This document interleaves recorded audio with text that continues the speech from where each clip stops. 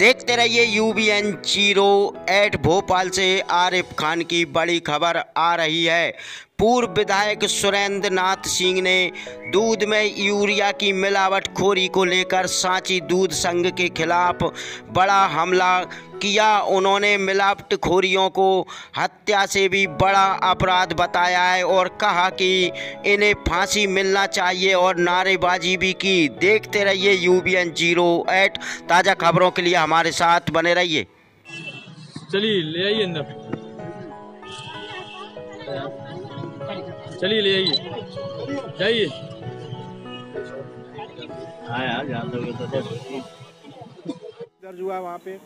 दूध में जो है यूरिया मिलाया जा रहा है और ये बहुत दिनों से चल रहा है। ये पहले भी ऐसे चीज़ें हो चुकी हैं, लेकिन जिन लोगों के ऊपर आरोप तय हुए थे, वही आज सब प्रभारी उभारी बने हुए हैं, पता नहीं कहाँ कहाँ पूरे प्रदेश के अंदर। और इतना बड़ा जो है ऑर्गेनाइज क्राइम हज़ारों लीटर दूध को बदलना, उसमें यूरिया मिलाना, ये किसी एक दो लोगों के बस की बात नहीं है। जब तक एमडी से लेके सीओ तक सारे अधिकारी मिले हुए नहीं हो, जब तक ये काम हो नहीं सकता। छोटे कर्मचारियों को हटा दिया गया। भाई सबको हटाओ ना। एमडी कौन है? सीओ कौन है? जो लेब में टेस्ट होता है कि नहीं होता डेली भाई रोज टेस्ट करना चाहिए ना। लेब में काम करने वाले कौन कौन से लोग हैं?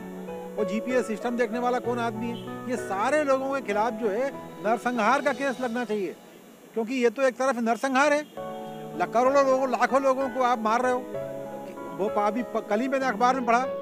कि मध्य प्रदेश जो है, सबसे ज़्यादा कैंसर मध्य प्रदेश में हो रहे हैं। वो ये दुग्ध संघ की वजह से या दूधों में मिलावट की वजह से हो रहा है। तो जो मिलावट करने वाले लोग हैं, ये तो हत्या से भी बड़ा जघन्य काम कर रहे हैं। क्योंकि हत्या तो एक आदमी की करता है कोई आदमी। ये तो मतलब लाखों लोगों को, वो घुट घुट के मरने के लिए विवश कर रहे हैं लोग। तो ऐसे लोगों के खिलाफ जो है, तत्काल ये गिरफ़्तार करें इनको। जितने लोग हैं, केस बनाए इन पे और हत्या का प्रकरण बने। फांसी दी जाए इन लोगों को।